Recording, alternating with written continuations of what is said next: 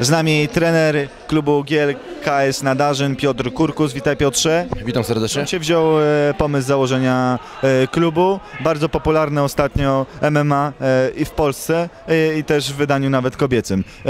To idzie z modą? Nie, to nie jest moda w żadnym wypadku.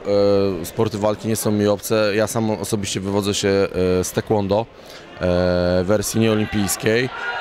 No, Jakie sukcesy w taekwondo odnosiłeś?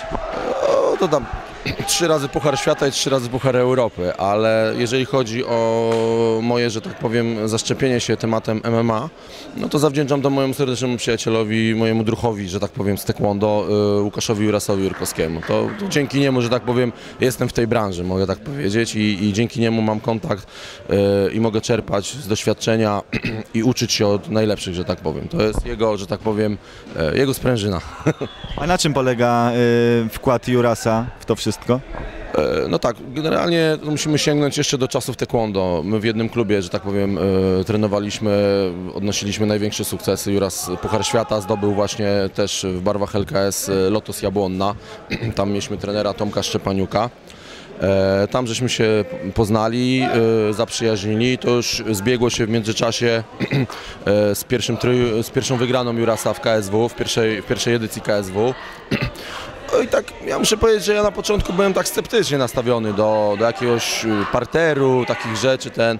Natomiast z czasem mm, poprzez Jurasa zainteresowałem się na tyle tym wszystkim, że w tej chwili sam e, w miarę możliwości, bo niestety mm, no mam też różne liczne inne obowiązki, w miarę możliwości staram się czerpać wiedzę od y, najlepszych, że tak powiem i sam e, trenuję e, zapasy brazylijskie jiu-jitsu, staram się rozwijać.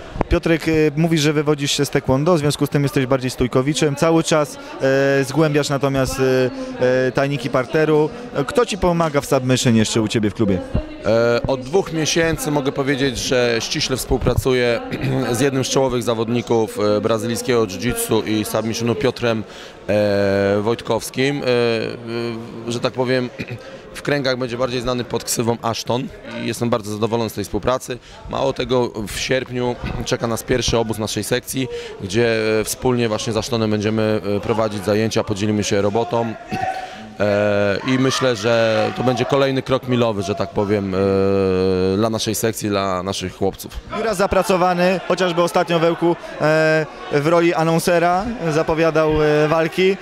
No ale tak jak mówię, ostatnio to jest bardzo powszechne, że trzy byli zawodnicy MMA, ci weterani, czy dalej aktywni, typu na przykład Michał Materla, Tomek Drwal, Mamet Kalidow. E, wszyscy udzielają się, jeżdżą po tych galach, e, pokazują się, czy to jako gości honorowi.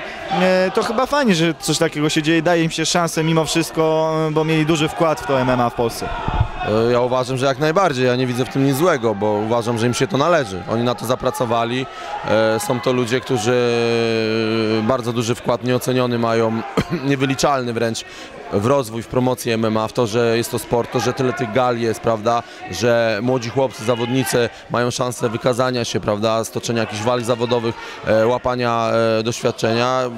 Ja uważam, że to jest super.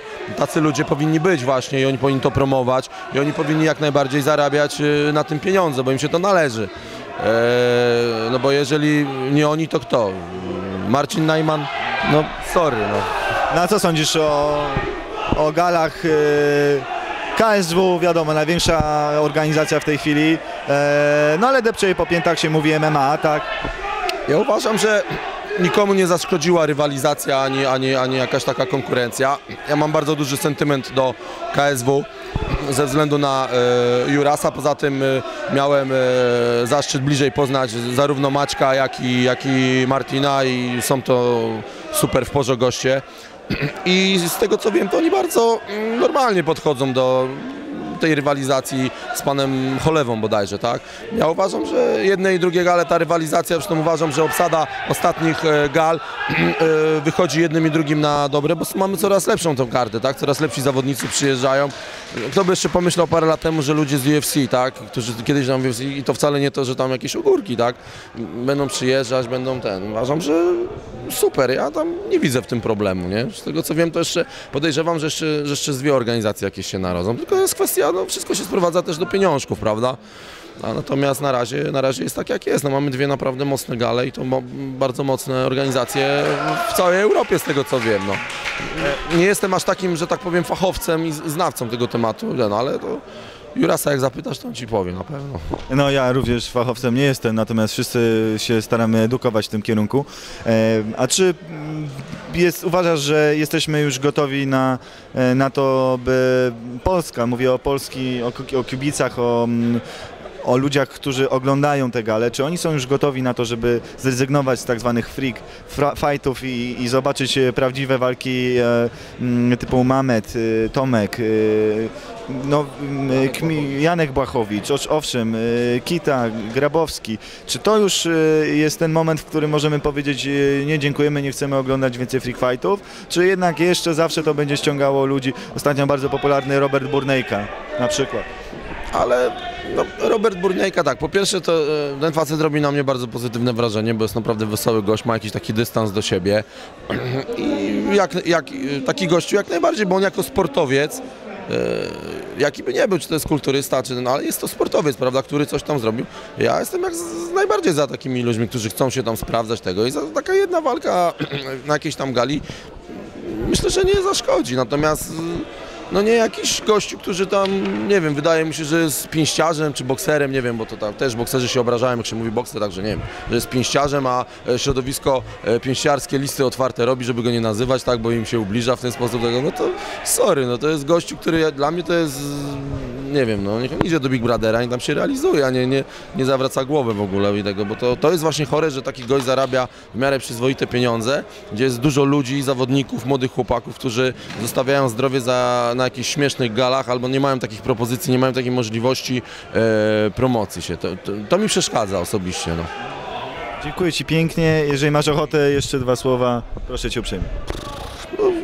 Chciałem pozdrowić moją żonę i mojego synka, żeby Frania, żeby moja żona trochę więcej wyrozumiałości, bo w domu ostatnio jestem gościem, ale tak jak mówię, są efekty, także pozdrawiam. Dzięki. Dzięki chłopaki.